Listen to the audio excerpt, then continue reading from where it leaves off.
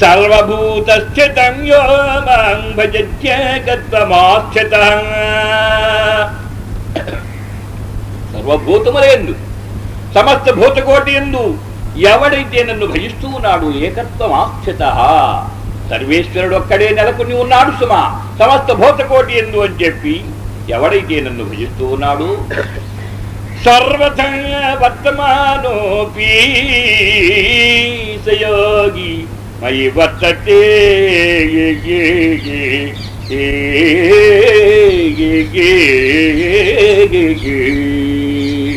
అశివాడు సర్వథా వర్తమానోపి ఎట్లా సంచరించినప్పటికీ ఆ సయోగి మయి వర్తతి. వాడు నాయందెప్పుడు నెలకొనే ఉంటాడు సమా ఎవరైతే ఇలా భగవదారాధన చాలా కట్టుదిట్టంగా చేస్తూ ఉన్నాడు. అలా చేసేటటువంటి వాడు సర్వథా వర్తమాను అపి. ఎలా సంచరించినప్పటికీ ఎలా సంచరించినప్పటికీ సయోగిమై వర్తతే. నాయందే వాడు ఎల్లప్పుడూ నెలకొని ఉండును సుమా. అంటే ఎలా సంచరించినా అంటే ఇష్టం వచ్చినట్టుగా సంచరించడం అనే అర్థం ఇక్కడ. ఆహా, ఆ, అది ఆ శుష్క వేదాంతంలోకి వెళ్ళిపోతుంది. అలా భగవదారాధన చేసేవాడు ఎలా నడిచినప్పటికీ బాధ లేదన్నారు కదా అంటే అది విపరీతార్థం అని విపరీతార్థం. అలా అలవా అలా అర్థాన్ని తీసుకొని మేము పై పైమెట్లోకి వెళ్ళిపోయాం. మాకు ఇవేమి భజనలు అవసరం లేదు. ఆ భగవద్ ఆరాధన అవసరం లేదనే వాళ్ళు కూడా ఉన్నారు. వాళ్ళు శుష్క వేదాంతులు అంటారు. పనికి మాలిన వాళ్ళు ఇహానికి పరానికి భ్రక్తులు వాళ్ళు. దేనికి పనికి రానటువంటి రకం? సర్వథా అంటే ఆ ఈ యొక్క ఆ చెడు విషయములు ఈ విషయభోగముల ఎందు వీటి ఎందు సంచరించటం అది అసలు ఆధ్యాత్మిక రంగానికే మొట్టమొదటగానే వదులుకోవాలి అసలు. ఈ భగవద్ విషయాలలో ప్రవేశించేటప్పుడే మొట్టమొదటి పోతున్న ఇవన్నీ కూడా. ఇక సర్వథా అంటే వాడు ఈ చేయవలసిన కార్యముల్లో ఎలా చేసినప్పటికీ కొంత చేసినా లేక సంపూర్ణంగా చేయకపోయినా ఆ ఎలా ఉన్నప్పటికీ బాధ లేదు అంటున్నారు. అంతేగాని ఏది అది మానుకోవటం అనేది ఎలా ఉండాలను అంటే ఏది సర్వధర్మాన్ పరిత్యజ్య మామేకం శరణం రజ. అహంత్వ సర్వపాపేభ్యో మోక్షయిష్యామి మాసుచ అన్నారు. చరమ శ్లోకం. ఆ ఆఖరిలో గీత ఎందు ఆఖరిలో చెప్పినటువంటి శ్లోకం అది. సర్వధర్మాన్ పరిత్యజ్య సమస్త ధర్మములు వదిలివేయవలసింది అన్నారు సర్వధర్మములు వదలి వదలి. మామేకం శరణం రజ. నన్ను ఒక్కరినే శరణు పొందవలసింది. శరణ నాకొక్కరికే శరణాగతి చేయవలసింది. అహంతా సర్వ పాపేభ్యో మోక్షయిష్యామి. మిమ్మల్ని నేను సర్వ పాపముల నుండి విడివడేటట్టుగా విడిపించగలను. మా శుచ అర్జున దుఃఖపడబోబోయ్. అని పరమరహస్యాన్ని బోధించేశారట. ఆకలి చెప్పి చెప్పి చెప్పి. సర్వధర్మ అంటే సమస్త ధర్మములు వదలి. పాపముల వల్ల వల్ల పాపములు వదిలి నన్ను ఆశ్రయించండి ఆయన ఆశ్రయించండి అంటే చచ్చిపోయేవాడమే మనం అంతా కూడా. పాపములు మనం ఎలా వదిలించుకుంటాం? వదిలించుకోలేం. ఏ పాపం వదిలించుకుంటాం మనం? మన వల్ల కాదు. అందువల్ల పాపములు వదిలి నన్ను ఆశ్రయించమని చెప్పాలా? సర్వధర్మాన్ పరిత్యజ్య. సర్వధర్మములు వదిలేసే. ధర్మాలు మన దగ్గర ఏమున్నాయి అసలు? ఏ ధర్మాలు ఇచ్చినాయి మన దగ్గర? ఏవీ లేవు. ఏవీ లేవు. ధర్మములు వదలటం సులువు సులభం కదా? ధర్మములు వదలటం సులభం. ధర్మములు చేయటమే కష్టం. ధర్మాలను ఆచరించడం కష్టం కానీ వదలటం చాలా సులభం.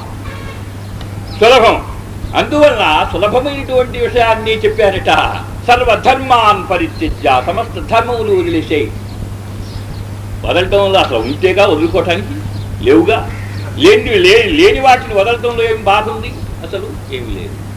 అటువంటి సర్వధర్మములు వదలి మామేకం శరణం రజ. నన్నే శరణు పొందవలసింది అలా అయితే అహంత అసర్వ పాపేభ్య మోక్షయిష్యామి. నేను వదులుస్తా మీ పాపములన్నిటినీ. మీరు వదులుకోలేరు వదులుచుకోలేరు.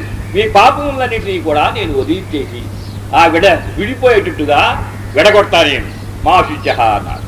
అయితే సర్వధర్మములు వదలటం అంటే సమస్త లోకముల్లో ఉన్నటువంటి ఈ ధర్మములన్నీ కూడా వదలటము అంటే ఆ స్వరూపంతో వదలటం కాదు.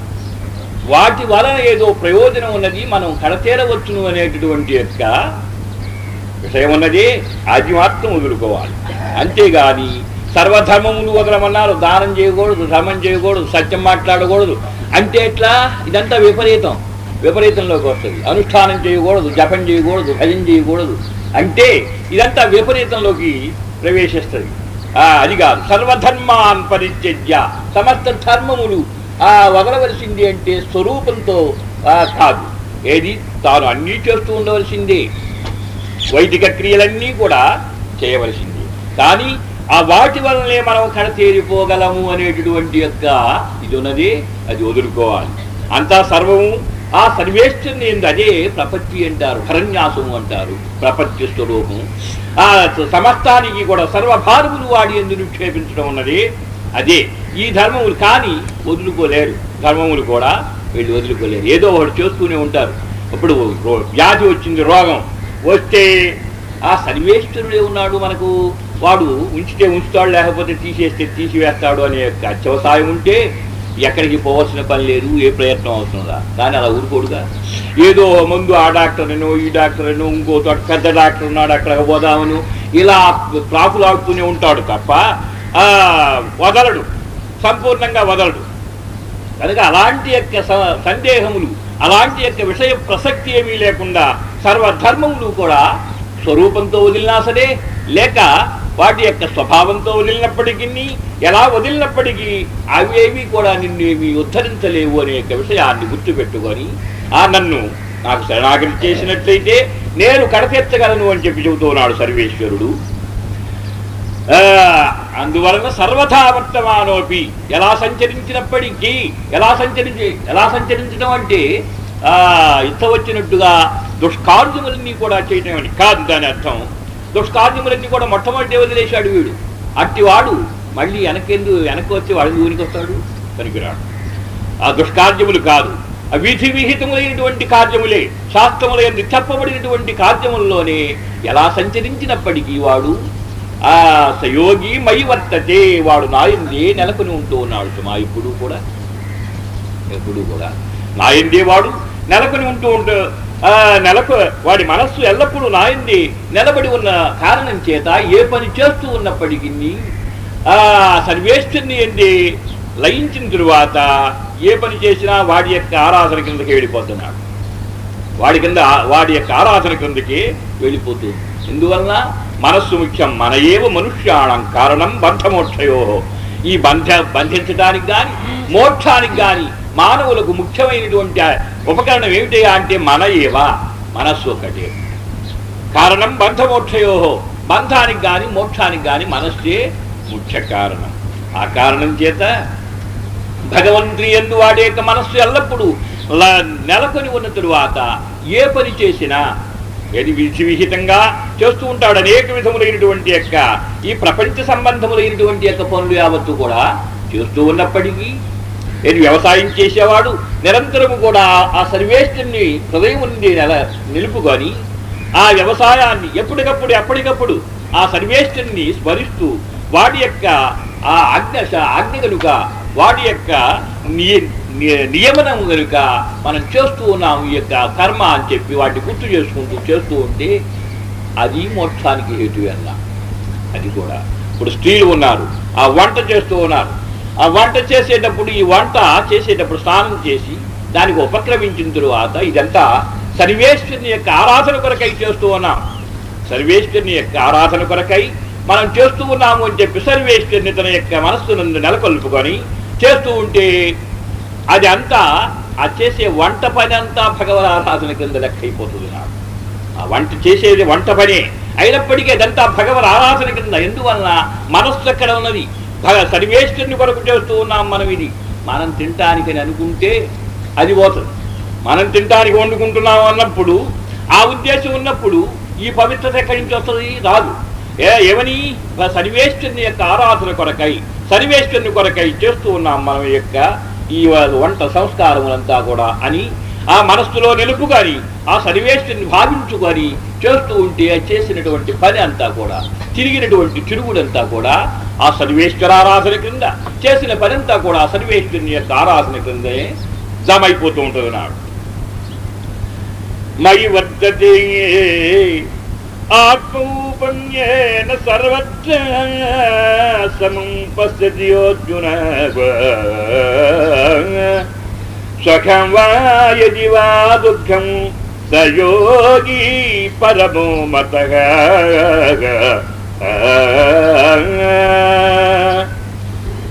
ఆత్మౌపన్యేన సర్వత్ర సమం పశ్యతి అర్జున అర్జున సుఖం వా ఇది వా దుఃఖం సుఖము కాని దుఃఖము కాని ఆత్మౌపమ్యేన సర్వత్రా తన మాదిరి గాని అందరి ఎందు కూడా సుఖం కలిగిన దుఃఖం కలిగినప్పటికీ ఆ తనకు కలిగితే తనకు ఎలా ఉండును? అలా ఉండును అని చెప్పి గ్రహించాలి. సర్వేశ్వరుడే నెలకొని ఉన్నాడు అందరి ఎందు. ఆ ఎవరిని హింసించినప్పటికీ సర్వేశ్వరునికి అపచారం చేసిన వాళ్ళమే.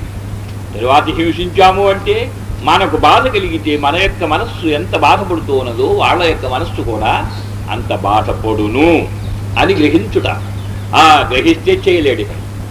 ఇకను ఆ హింసించలేడు ఇతరులను కొట్టలేడు హింస చేయలేడు. ఆ విషయం తెలియకని ఏది మన మాదిరిగానే ఎ- ఎవడి వాడి విషయమే తప్ప ఇతరుల విషయాన్ని ఆలోచించలేరు కొంతమంది. తన విషయమే తప్ప ఇతరుల విషయాన్ని ఆయనకు ఆయన నాట అనేక మంది కణుతులు కోసా కానీ నా కణితి కోసినంత నొప్పి ఇంకెవరికి కోసినా లేదు నాట ఎవరికి కణితి కోసినప్పుడు వాళ్ళకి నొప్పి కలిగింది కానీ వీడికి ఏమి నొప్పి? వీడికి కణితి కోసినప్పుడు వీడికి నొప్పి.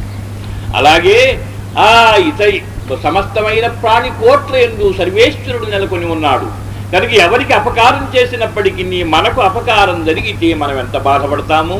వాళ్ళు కూడా అంత బాధపడతారు సుమా అని ఎవడైతే ఆత్మ సర్వభూతాన్ని సమస్త భూతములను తనతో పాటుగా చూడవలసింది సమస్త మతములు చెప్పేది ఇవే. ఏది ఏ మతం చెప్పినప్పటికీ ఆ ఏది ఇతరులను దయ కలిగి వర్తించవలసింది? ఆ సమస్తమైన భూతకోటి ఎందు ఆ దయ కలిగినటువంటి వాడవై. ద్వేషము ఆ అసూయ ఈర్ష్య లాంటి యొక్క దుర్గుణములన్నింటినీ కూడా వదలి వాళ్ళందరినీ ప్రేమించవలసిందే. ఈ సర్వేశ్వరుడు నెలకొని ఉన్నాడు అందరి ఎందు అని చెప్పి భావించి అలా చూడవలసిందని చెప్పి సమస్త మతములు చెప్పేది ఆత్మ ఉపమ్య అదే చెబుతూ ఉన్నారు ఇక్కడ.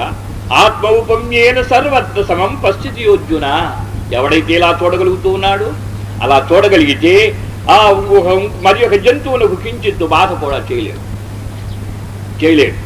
ఆ దాన్ని ఆ గొర్రెలు మేకలు చేపలు ఇలాంటి వాటిని నిలువును పట్టుకొని నరుకుతూ ఉన్నాడు అంటే ఆ ఏమాత్రమైనా ఆలోచిస్తే అది ఎంత బాధపడునో. ఆ మనకు ఏమాత్రం బాధ ఎక్కడైనా ఖర్చు కానీ ఏదన్నా కొంచెం తగిలిందంటే ఆ చాలా బాధ కలిగి దానికి కట్టు కట్టి అవి కట్టుకొని మానేదాకా చాలా బాధపడుతున్నాను.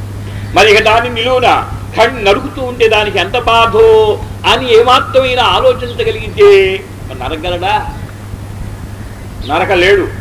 ఈ ఆలోచన అసలు ఏమీ రాదు వాడి మనస్సునకు. ఎందువల్ల అంటే ఈ దృష్టి లేదు. ఆత్మౌపమ్య దృష్టి ఉన్నది. మనకన్నీ ఎట్టి బాధో దీనికి కూడా అంతే అట్టి బాధే ఉన్నది.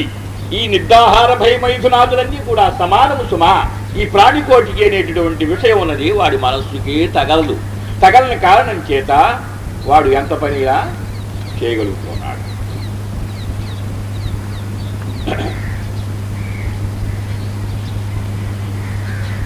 కానీ యోగి ఉన్నాడే వాడు మాత్రం సుఖం యది వా దుఃఖం సయోగి పదమో మత సుఖమును గాని దుఃఖమును గాని తన మాదిరి గాని తనకు కలిగితే ఎలా ఉండును ఇతరులకు కలిగినప్పటికీ అలా ఉండును అని చెప్పి బాధపడుతూ ఉంటాడు నాడు. దుఃఖం కలిగితే వీడికి బాధ కలుగుతుంది. వాళ్ళకి సుఖం కలిగితే వీడికి సుఖం ఆనందపడుతూ ఉంటాడు. ఏదో ఒక లాభం పొందాడు ఒకడు అంటే ఆ మిగిలిన వాళ్ళకేమో ఏది?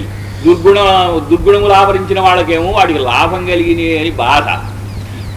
ఉత్తములో లాభం కలిగింది పాపం నా కొడుకు చాలా బాధపడుతున్నాడు అది వరకు. ఆ దీంతో ఆ కొంతకాలం వరకు బాధ లేదులేమని చెప్పి చూచి సంతోషిస్తాడన్నాడు ఉత్తముడైనటువంటి వాడు. నీచుడు వాడికి ఎందుకు కలిగేది ఈ లాభము అని. ఈరుష్య ఈర్ష్య. అదే దాని పేరు ఈర్ష్య అంటారు అసూయ అంటారు.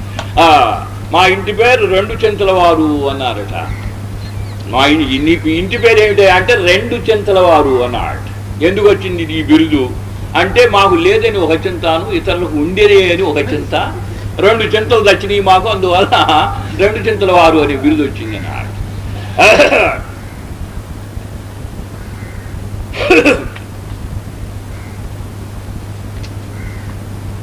అర్జున ఉవాచ.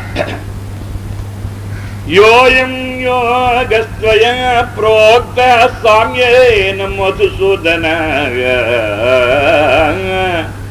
एतस्याहं न पश्यामि चञ्चलत्वा दुःखितिं स्थिराम्।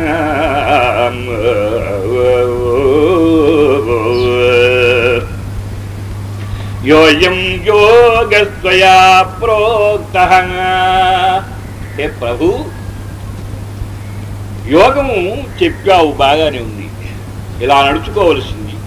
ఇలా ఉండవలసింది. ఇలా ఇంద్రియములు నియమించుకొని ఆ సన్వేష్టిని ఎందు మనస్సు నెల నెలకొల్పుకొని బాహ్య విషయములకు పోనీయక నిలపవలసింది మనస్సును అని చెప్పావు బాగానే ఉన్నది ఇది మహత్తరమైనటువంటి యొక్క ఆ ఫలప్రదము అన్నావు. ఆ పరమానంద సంధాయి అన్నావు. ఆ ఆనందములకి అవత్తు నెలవు అన్నావు. కావచ్చు బాగానే ఉంది. కానీ ఈ చెప్పిన యోగం ఉన్నది. ఆ సమానంగా సర్వేశ్వరుని ఎండి నెలకొల్పవలసింది. బాక్యానికి పోనీయవద్దు మనస్సును అని చెప్పి చెప్పావే. అది కుదిరేటట్టు లేదే మాకు. ఏతస్యాహం నపశ్యామి చంచలత్వాతు స్థితి మనం అందరం అడిగే ప్రశ్న ఆయనే అడిగాడు. అది ఏ జగత్తుని కాబట్టి కూడా ప్రతినిధిగా ఉన్నాడు ఇప్పుడు అర్జునుడు అక్కడ. ఎవరికి బోధించేది సర్వేశ్వరుడు? లోకానికి. అందరికీ మన అందరికీ అయితే ప్రతినిధి ఎవరయ్యా అంటే అర్జునుడు. ఆ అందువల్ల అందరికీ కలిగే సందేహం ఆయనకి కలిగింది సహజమేగా? ఆ కారణం చేత అడుగుతున్నాడు ప్రశ్న. ఆ నెలపోలసింది మనస్తున్నావు. నెలకొల్పవలసింది బాహ్య ప్రపంచానికి పోనీయవద్దని చెప్పావే. అది ఎలా నిలబడుతుందయ్యా స్వామి? ఏతస్యాగము నపశ్యామి చంచలత్వాతు స్థిరాం. ఇయ్యండి నెలకొల్పమన్నావే? మహాచంచలం ఈ మనస్సు. మా మనస్సులున్నాయి. మహాచంచలములైనటువంటి నిమిషానికి జగత్యావత్తు పరిభ్రమించి వస్తూ ఉంటాయి. ఓ తోట నిలబడదు. ఆ నిమిషంలో తిరిగి వచ్చేసేస్తుంది. ఎక్కడ బయటతో వెళ్ళిపోతుంది జనాలు వెళ్ళిపోతుంది గుంటూరు వెళ్తుంది బెదవాడ వెళ్తుంది మళ్ళీ ఇది వస్తుంది దే మనోవేగం అంటారు ఆ నిమిష మాత్రంలో జగత్యావత్తు పరిభ్రమించి వచ్చేసేస్తుంది ఆ అంత అట్టి చంచలమైనటువంటి మనస్సును అన్నిటినీ మాన్పించి నీ అందే నిలపమని చెప్పావే అది అసలు నె- మహాచంచలమైనటువంటిది మనస్సు. అది ఎలా నిలిపేది ఎలాగయ్యా? చంచలం హిమన కృష్ణ ప్రమాది బలవదృఢం. తసాహం నిగ్రహం మన్యే వాయోరివ సుదుష్కరం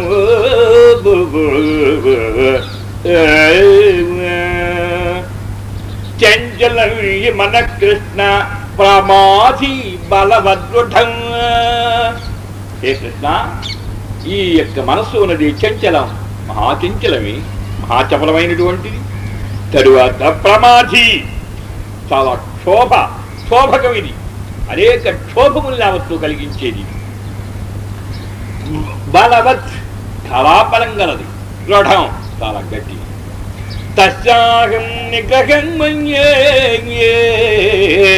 వాయో దివసు దుష్కరం దాన్ని నిలపమంటున్నావే అది సాధ్యపడేదేనా?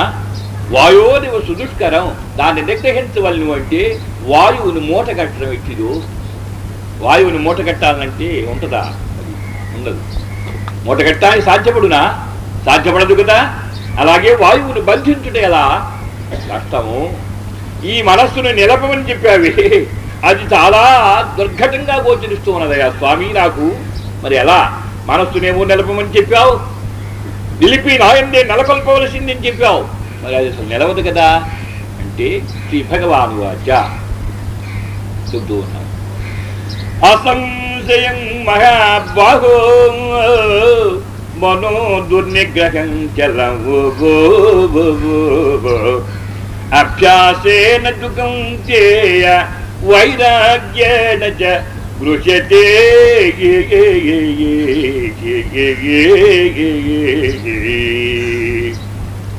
అసంశయం మహాబాహో మనో దుర్నిగ్రహం జలం మహాబాహు అర్జున నిశ్చయంగా చంచలమేనయా మనస్సు. కాదని ఎవరు అంటానికి వీల్లేదు. మహాచంచలమైనటువంటిది దుర్నిగ్రహం దాన్ని నిగ్రహించడం కష్టం కూడా. కష్టమే. కష్టం కాదని అంటానికి వీల్లేదు. అది కష్టం లేని ఎలా వస్తుంది? ఫలం కష్టే ఫలం. ఫలం రావద్దు అంటే ఆ వ్యవసాయం అంతా కూడా చక్కగా చేసి దున్ని నాటు వేసి దాన్ని ఎరువులు వేసి పెంచి రేపు కోత కోసి ఆ నూర్చు తెచ్చుకుంటే సరిపోతుంది కానీ ఇంటి దగ్గర సోమడిపోతాయి కూర్చొని ఏది చేయక నాకు పండు రాలేదేంటి ఎలా వస్తుంది? రాదు. మరి కష్టం చేయాలి. కష్టం కష్టమే. దుర్నిగ్రహం చలం. దాన్ని నియమించడం కష్టమేనయ్యా. కష్టం కాదని ఎవరన్నారు? చలం. మహాచంచలమైనటువంటిదే మనస్సు. అయితే దాన్ని వశపరుచుకునే మార్గం లేకపోలా ఉంది. దానికి ప్రయత్నం చేయాలిగా. ఏం ప్రయత్నం అది? అభ్యాసేన తుకౌంతేయాంగో వైరాగ్యేణ చ గృహ్యతే. అభ్యాస యోగం చేత నిలబడుతుంది అభ్యాస యోగం ఒకరోజు నిలబడదు నీకు. ఒక రోజున నిలబడదు. అభ్యాసం చేయాలి. ఇంకొకటి ఏమిటి? వైరాగ్యం ఒకటి. రెండు. దాన్ని స్వాధీనపరచుకోవాలను అంటే రెండు ప- రెండు మార్గముల చేత దాన్ని తొక్కాలి. ఏమిటి? అభ్యాస యోగం ఒకటి. అభ్యాసం రోజు అభ్యాసం ప్రతిరోజు అలా అభ్యాసం చేసి వైరాగ్యాన్ని దానికి బోధిస్తూ ఉంటే ఈ రెండు ముఖముల చేత దాన్ని సర్వేశ్వరునిదేమో నిలువు నిలపటానికి ప్రయత్నం చేయాలి. ఈ బాక్యానికి పోకుండా ఈ విషయ భోగములకు పోకుండా వైరాగ్యాన్ని దానికి బోధించాలి. ఏం వైరాగ్యం ఇవన్నీ ఆ నశ్వరములు క్షణ క్షణభంగురములు అశాశ్వతములు ఆ దుఃఖ బాధినములు అని చెప్పి తెలుసుకొని ఆ వైరాగ్యాన్ని దానికి బోధిస్తూ ఆ సన్వేష్టిని ఎందు నెలకొల్పడానికి ప్రయత్నం రోజు చేస్తూ ఉంటే నిలబడి దాస్తుంది నిలబడిపోతుంది. కొంతకాలానికి కృష్యతే నిలబడిపోతుందయ్యా. పోకుండా పోలు ఎందువల్ల అయితే ఈ అభ్యాసమునందు లోపం ఉంటే పోవచ్చు. అంతేగాని అభ్యాసమునందు లోపం లేకుండా నిరంతరము చేసినట్లయితే నిలబడకపోదు సుమా మనస్సు. అభ్యాసము ఆ కూసు విద్య అన్నాడు. అభ్యాసం లేని నిరంతర సదాభ్యాసము లేని విద్య అన్నాడు. అభ్యాసం లేని విద్య వాడికి ఎందుకు ఉపయోగిస్తుంది? వాసన లేని పువ్వు బుధవర్గము లేని పురంబు నిత్య విశ్వాసము లేని భార్య గుణవంతుడు గాని కుమారుడు సదాభ్యాసము లేని విద్య పరి పరి పరిపాలన లేని ప్రభుత్వ టీవీయు గ్రాసము లేని పొలువు పరగావుర పెమియ చెంగసీమడి అన్నాడు వాడు. వాసన లేని పువ్వు. ఎందుకది? ఆహా బాగానే ఉంది చూ చూడటానికి. ఏది వాసన లేదు దానివల్ల ప్రయోజనం. బుధవర్గము లేని పురంబు పండితులు లేనిటువంటి యొక్క ఊరు. అది అర్థమేనన్నాడు పండితులు లేకపోతే మంచి చెడు చెప్పేవాడు ఎవడున్నాడు ఈవేళ అసలు ఏమిటో వాడు మంచిది అవునో కాదో చూడండి అని చెప్పి ఎవరిని అడుగుతా? ఎవరిని అడగటానికి ఉంటే కదా పండితులు? బుధవర్గము లేని పురంబు నిత్య విశ్వాసము లేని భార్య. నిత్య విశ్వాసము లేని భర్త ఆ పూజించవలను అనేటటువంటి యొక్క నిరంతర విశ్వాసం లేని భార్య ఆ వ్యర్థమే అన్నాడు. నిత్య విశ్వాసము లేని గుణవంతుడు కాని కుమారుడు గుణహీనుడైనటువంటి కుమారుడు ఎందుకు తల వెలగొట్టడానికి వీడికి ఉపయోగపడేది? అంతకనప్ప తప్ప హెడేనికి ఉపయోగపడడు? గుణవంతుడు కాని కుమారుడు సదాభ్యాసము లేని విద్య నిరంతరాభ్యాసము లేనిటువంటి విద్య కూడా రాణించదన్నాడు ఏమి పనిచేయదు ఎల్లప్పుడూ కూడా ఆ అభ్యాసంలో ఉన్నటువంటి యొక్క విద్య ఉన్నది శర పరంపరలుగా పోతూ ఉంటుంది. అది ఎప్పుడో నూటి కోటి ఓ రోజున చదవబోతే అది ఎట్లా కదులుతుంది అసలు? చదవదు. పరిపాలన లేని ప్రభుత్వ టీవీలు ఆ సరైనటువంటి యొక్క ఆజ్ఞ పరిపాలన ఉన్నది జరగనటువంటి యొక్క ఆజ్ఞ దాన్ని వేశాడు వేస్తే అది అమలు జరపలేకపోతే ఎందుకని ఆ అమలు జరపపోయిన తరువాత వాడి ప్రభుత్వం ఎందుకు తగలబెట్టుకోనా? పరిపాలన లేని ప్రభుత్వ టీవీ గ్రాసము లేని కొలువు. జీతం లేని కొలువు. ఎందుకని శరీర శరీర సమరప్ప కొరగావురా అన్నాడు ఇవన్నీ పనికి మాలినవి అని అట్లాగే సదాభ్యాసం లేనటువంటి యొక్క ఆ అభ్యాసంలో చాలా గొప్పతనం ఉన్నాడు రాజు గారు ఆ, బజారు వెంట పోతున్నాడు ధనస్సు తీసుకుని పోతూ ఆ భార్య మేడ మీద విహారం చేస్తోంది తిరుగుతూ షికారుతో తిరుగుతుంది ఖాళీగా ఉంది. పైకి ఎక్కి ఆ మేడ మీద ఇటు అటు తిరుగుతుందట తిరుగుతూ ఉంటే చూచాడు రాదు చూచి ఒక పుష్ప గుచ్చం అన్నది పూల గుచ్చి ఒకటి ఆ ధనస్సులోకి ఎక్కించి సరిగ్గా ఆమె వక్షస్థలానికి తగిలేటట్టు కొట్టాడు. కొట్టాడు. కొట్టి చూచింది కొట్టినవాడు రాజు తీసుకొనది. తీసుకొని రెండోది ఇంటికి పోయాడు వాడు. ఇంటికి పోయి పోతే భలే పని చేశారండి అని అంటారు ఆ భార్య. భలే పని చేశారు అని అనగలందులకై ఇంత పని శ్రమపడి చచ్చాడు వాడు. కానీ అనటల్లా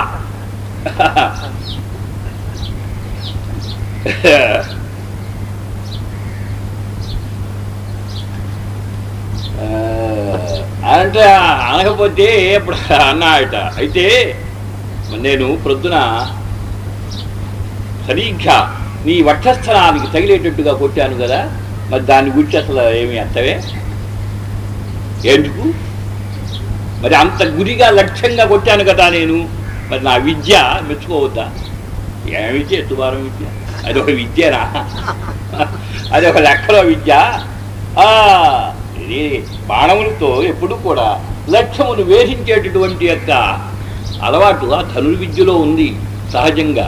దాంట్లో ఇంకా గొప్పతనం ఏముంది? కాకపోతే బాణానికి బదులుగా పుష్పగుచ్చాన్ని పెట్టావు కొట్టావు. దాంట్లో ఆశ్చర్యపడవలసినటువంటి యొక్క ఆ విషయం ఏమీ లేదే అన్నదట. ఇట్లాగా నేను ఇంత పని చేస్తే నన్ను సంతోషించకపోగా ఆ ఆశ్చర్యపడే విషయం ఏమీ లేదంట. నీ ఓటి విశ్వాసహీనురాలు భార్యగా ఉండకూడదు నాకు. ఉండకూడదు.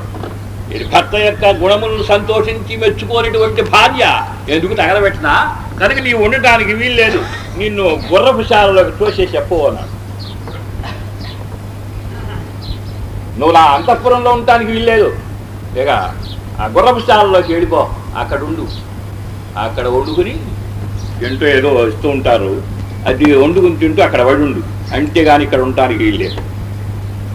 ఏమిరా ఇలా తిరిగి వచ్చినాయి అనుకొని సరే చేసేదే ఉంది. రాజాజ్ఞవాడు రాజు కదా ప్రభు వేసేసాడు వేస్తే వెళ్ళిపోయింది. ఆ మందిరం ఉంది దాంట్లోకి వెళ్ళి అక్కడే ఉంటూ ఉన్నది ఒక గది అందులో అక్కడే వండుకోవటం తింటాం. కానీ చాలా బాధగా ఉంది. ఏమిరా నేను మాట్లాడిందంటూ తప్పు లేదే? తప్పు లేని దానికి ఎంతగా వీడు శిక్షించాడు ప్రభువుని యొక్క మదం చేత? అని సరేలే కానీ అని ఉంటూ ఉన్నదట. ఉంటూ ఉంటే ఏనుగు ఒకటి ఈని. ఏనుగా? ఈనింది ఆ మందిరంలో ఈనిచ్చే ఏనుగు పిల్ల పెద్దగానే ఉంటుంది. మన వీటికంటే గేద్దోళ్ళ కంటే ఇంకా పెద్దగా ఉంటుంది పెద్ద జంతువుగా. కానీ పిల్ల పిల్లప్పుడు అట్లా ఆ రోజున ఈనిన రోజున అట్లా ఎత్తి కిందకి దించిండారు ఆ- పిల్లను ఏనుగు పిల్లను అలా పైకి ఎత్తి దించేసింది. ఇట్లా రెండు మూడు సార్లు ఎత్తను దించను ఎత్తను దించను ఇలా చేసింది. రెండవ రోజుని చేసింది. మూడవ రోజుని చేసింది. వరుసగా ప్రతిరోజు చేస్తుంది. రోజు రెండు మూడు సార్లు దాన్ని ఎత్తడం దించడం అలా చేస్తే మూడు సంవత్సరాలు అయ్యే వరకు పెద్ద ఏనుగు అయింది ఇది. ఏనుగు పిల్ల పెద్ద ఏనుగు అయినప్పుడు కూడా ఎత్తి దించుతూనే ఉంది ఈమె. అలవాటు పడిపోయిందిగా. ప్రతిరోజు అలవాటైన కారణం చేత పెద్ద ఏనుగైన తరువాత కూడా ఎత్తి దించేసేస్తోంది. చేసి ప్రభు కబురు చేసిందట. నేను ఏనుగుని ఎత్తుతాను. చూడవలసింది ఏనుగుని ఎత్తుతాను నేను పైకి చూడవలసింది అని చెప్పి ప్రభువుకి కబురు చేసి చెబితే ఏనుగుని ఎత్తుతారా ప్రపంచంలో ఎవరైనా? ఎత్తగలరా? చాలా చిత్రంగా ఉంది అని చెప్పి సభ చేశాడు. ఆ పారంగా వచ్చింది జనం ఏనుగు ఎత్తుతుందట రాజుగారి భార్య. ఏమిటో చూద్దామని చెప్పి సభ చేసి సింహాసనం మీద కూర్చున్నాడు వాడు. వచ్చింది ఆమె వచ్చిన తరువాత ఆ రోజు ఎత్తే ఏనుగు తోలుకురెడ్డిరా తోలుకొచ్చింది. ఆ ఎవరైనా ఎత్తేవారు ఉంటే ఎత్తవచ్చునంది దీన్ని ఎవరెత్తారు ఏనుగుని? ఎవరెత్తలేదు నేను ఎత్తుతాను. చూడవలసిందని చెప్పి అలా ఎత్తేసి కిందకి పెట్టింది ఎత్తింది కింద పెట్టింది. రెండు మూడు సార్లు పైకి ఎత్తి కింద పెట్టేసి ఏనుగు. అంటే చాలా బలం ఉన్నది సుమా నీ దగ్గర. ఇంత బలం బలం నీ దగ్గర ఉందని చెప్పి నేను ఇదివరకు తెలుసుకోలేదు అన్నాడట ప్రభు. బలం లేదు నీ పాడే లేదు. ఏమీ లేదు. ఏమిటే అంటే ఇది నిరంతర అభ్యాసం. నిరంతర అభ్యాసం. పుట్టిన దగ్గర నుండి దాన్ని ప్రతిరోజు ఎత్తుతున్నా ఆ కారణం చేత ఇంత పెద్దదైన తరువాత కూడా ఎత్తాను. నేను వెనక నీవు ఆ పుష్పగుచ్ఛాన్ని కొట్టినప్పుడు కూడా ఇది అభ్యాసము అనే దీంట్లో ఆశ్చర్యపడవలసినటువంటి యొక్క విషయం ఏమీ లేదు అని చెప్పి నేను అంటే నన్ను గుర్రపుశాలలోకి దోషేశావు. అందువల్ల అక్కడ ఉండి నేను ఈ పని చేశా. ఇది నేను ఎలా ఎత్తగలిగాను నువ్వెత్తు ఆ, నువ్వెత్తవయ్యా ఏమెత్తుతాడు ఇటు గుడిజా ఎత్తలేడు. గుర్రా ఏను ఏనుగుని కదపగలడా?